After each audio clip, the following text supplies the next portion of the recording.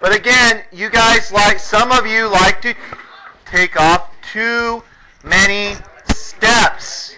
Shh. Too many steps. So here, first of all, we should always do our reciprocal.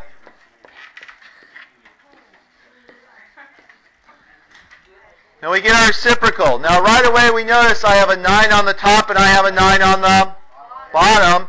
They're going to cancel out. I have a 14 on the top, a 7 on the bottom. What's the greatest common factor? It's going to be 7, 1, and 2. Shh. Quiet.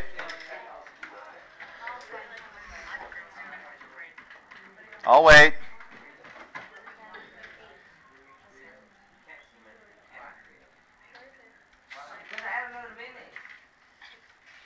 So now we have a to the fourth divided by a squared, which means 4 minus 2, so that becomes a 1 on the bottom. So we get 2a squared. 2a squared. Most of you got that one. That's over. Well, usually we would drop the over one part. Now, this one, a lot of you, I think, got in trouble. One, you don't want to factor this. So first of all, 3 over y squared minus 4 times y minus 2 over 6. Actually, David, I think the second, the last one you showed me was right.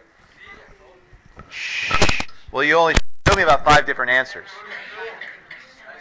So anyway, right here, this is the difference of two squares. Difference two squares which means this is y minus 2 times y plus 2. Some of you wanted to put y minus 2 times y minus 2. I saw a couple of that. That was your problem. Remember, difference of two squares. One has to be a minus, one is a plus. So when we do our simplification, this cancels that one. 3 becomes a 1, 6 becomes a 2. Remember, that's a 1 also. I get 1 over 2 like that.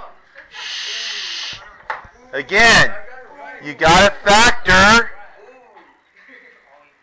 You got to factor. Factor all the parts first. Don't skip test. You know how it's one half right there? You would always have to put the two in front of the um. It's a, usually when we write it, we put we put digits in front of the binomial like that. It's just a convention. You could have written it y plus 2 in the parentheses, then the 2.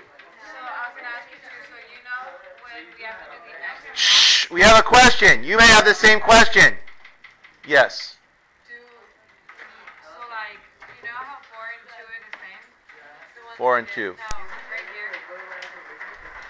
So like, when they don't, so when they don't like go together like that, we would always have to get an X and box it. Do you get Yeah, well, no. If you have like a quadratic, if you have a quad, Yeah, quadratic, if you have a quadratic, you're gonna do. You're See if gonna do X and you're gonna have to do the the, bo- the the diamond box thing. You have to factor them. In other words, you have to factor out everything. Even if it was say a, a 3y minus 12, you'd want to factor out that 3 first out in front to get rid of it. Okay, guys. So classwork. Now this is review work. Remember, we're working toward our CSTs here in a few weeks. Well, did you bring the chair in? Now, so this is due at the end of class. You should have plenty of time to get all of this done. There should be no reason not to get all these problems done. They have the sections. Shh. They have the sections by them where those particular problems come. You get stuck, you look at the problems. But you need to show your work. I got a lot of work last time where you wrote down a problem and an answer with no work. I need work. I need diamond boxes. I need arithmetic, things like that. Shh.